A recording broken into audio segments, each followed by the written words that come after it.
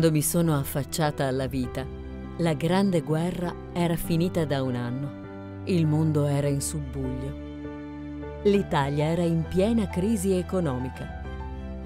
Qualcuno però capì che l'agricoltura poteva diventare il valore sociale strategico per risollevare il paese.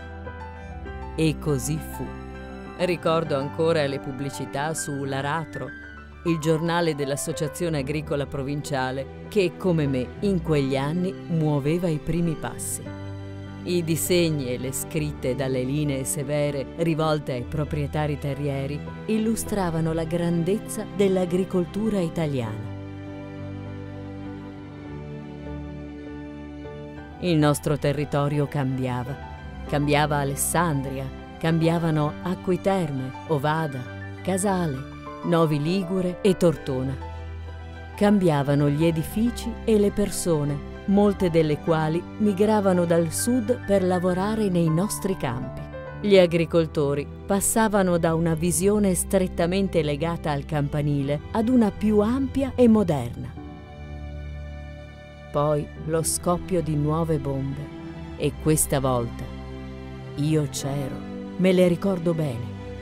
Ricordo il suono delle sirene che avvertivano dell'arrivo degli aerei pronti ad eseguire condanne a morte.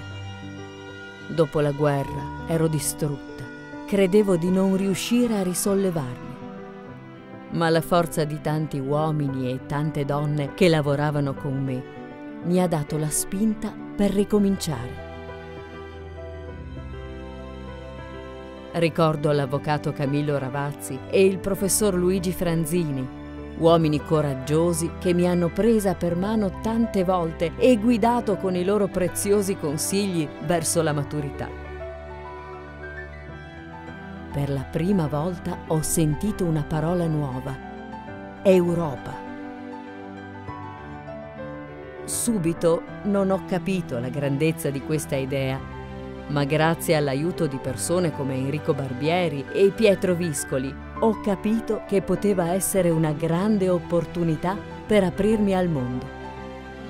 Erano gli anni Sessanta, il paese rifioriva. Sono stati anni felici tra campi di grano, barbabietole, mais e girasoli, vigneti e risaie. Gli anni della ricostruzione fisica e morale.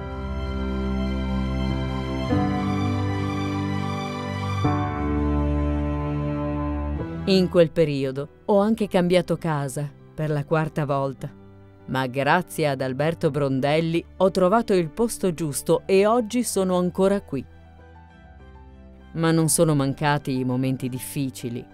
Lo sa bene Paolo Barbieri che mi è stato vicino e insieme siamo riusciti a uscirne a testa alta e ancora più forti di prima. Ripercorrendo gli ultimi anni, però, non posso non pensare a tutte le volte che la natura ci ha messo alla prova, come quel 6 novembre del 1994. L'acqua aveva invaso ogni campo. Lo straripamento del Tanaro aveva portato via la vita a 11 persone.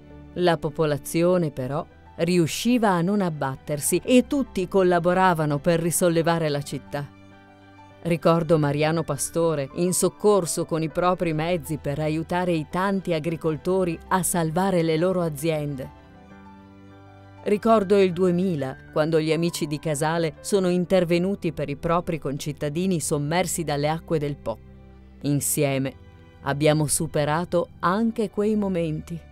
Giampaolo Coscia mi ha fatto capire l'importanza dell'unione tra le persone e che anche quando queste ci lasciano, quello che si è condiviso rimane dentro di noi, così come dentro di noi rimangono i loro insegnamenti. Dentro di me rimangono quelli di Bartolomeo Bianchi e quelli di tutti coloro che ora sono in un mondo diverso, un insegnamento che supera le barriere del tempo.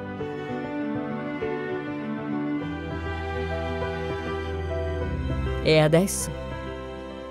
Adesso si guarda al futuro, ai nuovi mondi da esplorare. Con Luca Brondelli abbiamo appena cominciato. La strada da percorrere è ancora lunga. Guardo avanti alle nuove sfide che mi attendono e ripongo la speranza nelle persone che camminano con me e in quelle che incrocerò nel mio percorso.